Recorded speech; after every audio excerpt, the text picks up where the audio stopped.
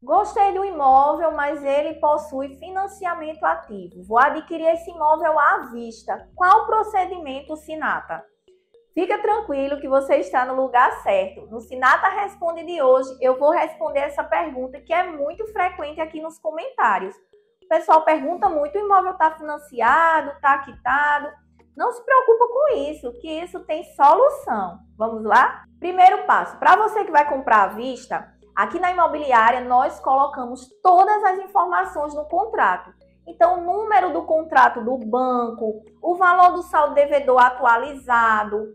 E para que você possa fazer a sua escritura, esse imóvel, de fato, ele tem que ser quitado.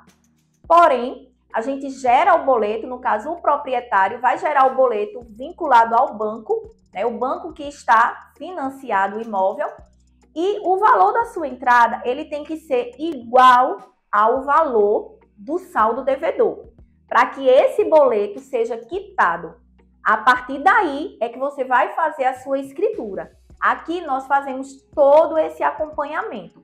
E o processo é o seguinte: após quitado esse imóvel, primeiro você vai assinar o contrato, tudo direitinho, emitimos todas as certidões, e aí sim, chega o momento de gerar o boleto e fazer a quitação.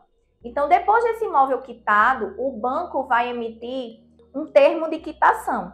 Esse termo de quitação é levado para o cartório de registro de imóveis, seja o de Cabedelo ou seja o de João Pessoa, para que o cartório tire a alienação.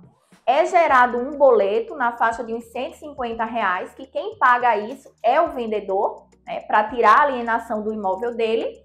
E a partir daí, quando sai a certidão dizendo que o imóvel não está mais alienado, aí sim é o momento que a gente vai puxar seu ITBI, puxar as taxas de cartório, para que possa dar andamento à sua escritura.